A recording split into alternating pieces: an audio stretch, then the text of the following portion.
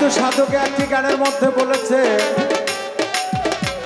যে আমি মদ খেয়ে যদি মসজিদে যাই, তাহলে আমাকে দূর দূর করে তাড়িয়ে দেওয়া হয়। আবার সেই মসজিদেরই সভাপতি। এলাকার যে বড় একজন সুদখোর।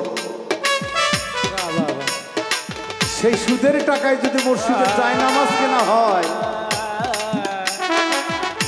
তাহলে আমি মদ খেয়ে যদি মসজিদে যাই, মদ খেয়ে যদি আমি মাতনামি না করি, তাহলে তো তাই কেউ আমাকে মাতাল বলবে না। কিন্তু সুদের টাকা দিয়ে একবার খায়, সে কি করে মসজিদের সভাপতি হয়? এইটুকুই আমার জানার ব্যাপার। সাধুগুরু বসন্তরা বলে যে, এক ধামা ধানের ভিতরে উড়াইতে উড়াইতে যদি এক কেজি থাকে ওই এক কেজি হলো মূলধন। কি?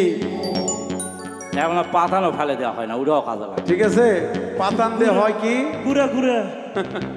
গরু নই ভাই।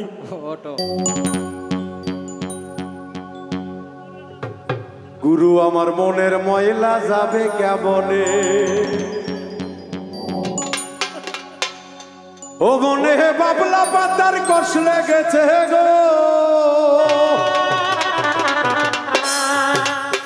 ও মনে বাবলা পাতার কষ লেগেছে। গুরু গুরু ও গুরু গুরু গো যায় না দুলে সবানে। গুরু আমার মনের ময়লা যাবে কে পাগল, ভালো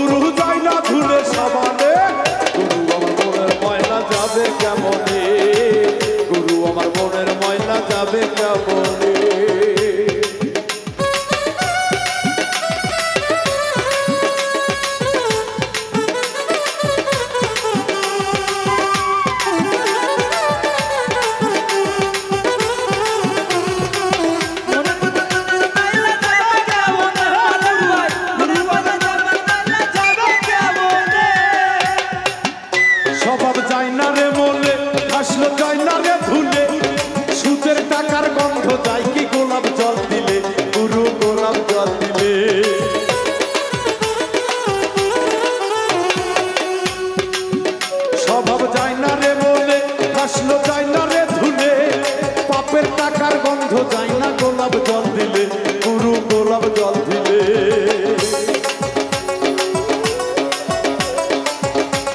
সুদের টাকার কি গন্ধ যায়?